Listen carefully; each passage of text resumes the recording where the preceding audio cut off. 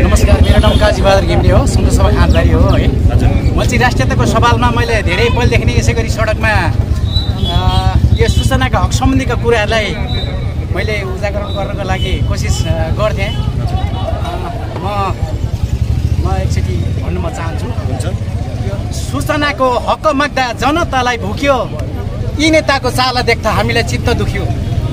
यी तराई नेता भन्थे पहिला दस हजार सेना चाहिने त्यति भए सोचे तिनले तराई खान पाइने। लड्ने भिड्ने दम भए इन्डिया भर्ती जाऊ इन्डियाका सब गोर्खा सैनिक नेपालमा आऊ। अविश्वासी सरकार भए चाँडै फेरि फेर्ने। इन्डिया भर्ती दस हजारको हामी पावर हेर्ने।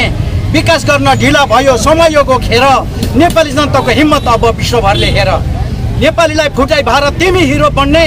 तिम्रा शत्रु फर्काउँदैछन् तिमी के के भन्ने? तिम्रो मूर्ख प्रवृत्तिले तराई डुबाइसक्यो कुरा बुझ्न गाह्रो भयो मनमा चिसो पस्यो खेर गयो मुस्ताङको त्यो रसिलो स्याउ विदेशमा लुकाएको धन सम्पत्ति ल्याऊ।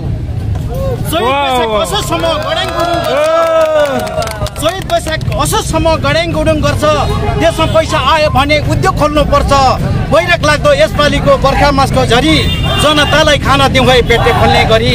राकेश सुनलाई नेपालमा मुद्दा मिल्यो भनी ढाँटे। पूर्व पश्चिम दक्षिणपट्टि जङ्गे पिलर गायब गरी तराई खाना आँटे।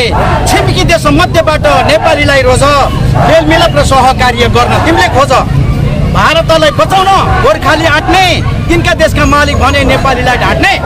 हाम्रा देशका यी नेताको कछुवाको ताल गरिब दुखी जनताको हुन लाग्यो कालो। हाम्रा देशका शासकहरूको पत्थर जस्तो छाती जङ्गी शासन रोजगार चाहियो हानुस बरु लात्ती।